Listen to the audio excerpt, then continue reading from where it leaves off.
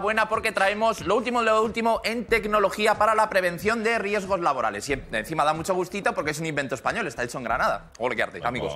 Atentos porque esto es el HandSafe, ¿vale? La sierra de seguridad que para automáticamente al notar un dedo en su campo de acción, con lo cual evitamos unos eh, accidentes graves. Bien, lo, lo que viene a continuación puede herir vuestra sensibilidad. Sí, porque la vamos a probar ahora aquí en directo con una persona. Fortísimo aplauso para Javier.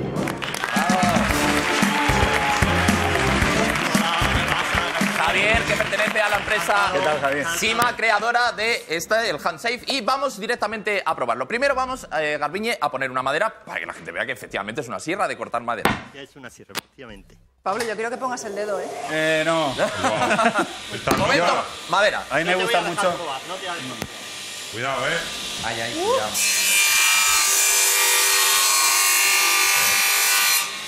Y efectivamente corta la madera, que es una maravilla. Si tenías algún problema en el micro, ahí te lo arreglan. Bien.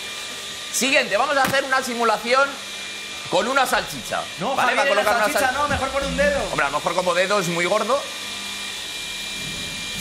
Pero atentos. Automáticamente se ha parado.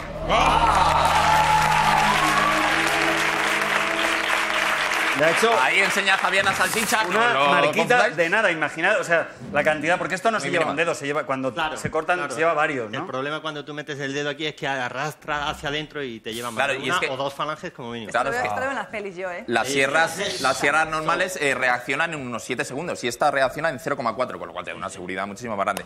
Pero vamos a ponerla más a prueba todavía. Javier, ¿qué vas a hacer ahora que me da muchísimo miedo? Voy a intentar, solo intentar, pararla con la mano. Pero di- ah, dices a las bravas o vas a agarrar, ¿qué vas a hacer? Voy a coger el disco como una pinza. Como si fuera una pincilla. Venga, vamos a ello Pero, entonces. pero es que Tiene su peligro, quiero A decir. ver, que la gente de- casa, ¿no? Claro. cerca de la vidia, Que ¿vale? le dé a grabar, que esto puede ser un momento. Estamos en directo, ¿vale? Padre. Dando terror. ¡Ah! ¡Qué miedo! ¡No le gritéis! ¡Ah! Ahí está.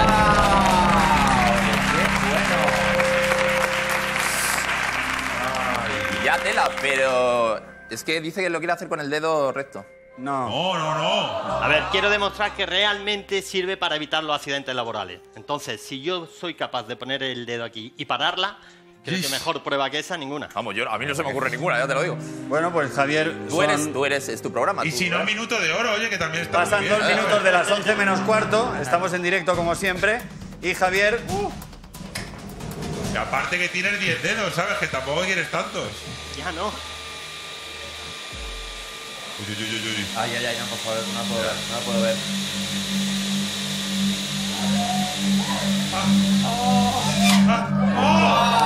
Y ahí está.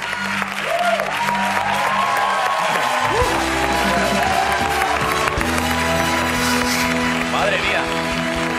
Podemos ver que el dedo está perfecto. y el dedo está Increíble. perfecto, Increíble. tiene un piquito, Bueno, sí, es el, claro. el- el- No, no, no, estamos hablando de comparación con la destroza que le podía Bueno, es haber hecho. maravilloso. Un aplauso Un aplauso para Ahí estamos viendo el momento. Sí, es del centro sur de la India.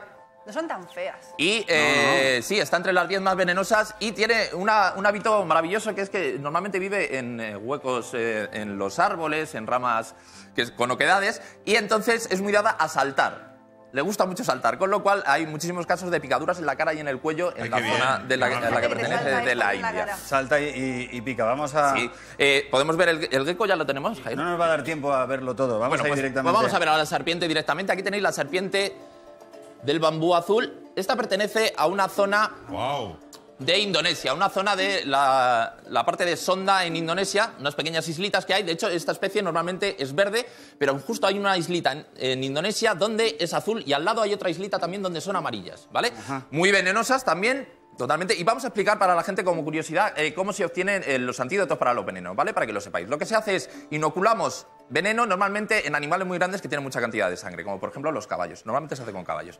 Inoculamos veneno, el caballo crea anticuerpos y después sacamos sangre para, a partir de su plasma, una vez que ya ha creado anticuerpos, de ahí sacamos lo que sería el antídoto, que es como un polvillo, Sí. que luego lo disolvemos en un suero y ya lo podemos inyectar en el cuerpo humano, ¿vale? Para que sepáis un poco cuál es la,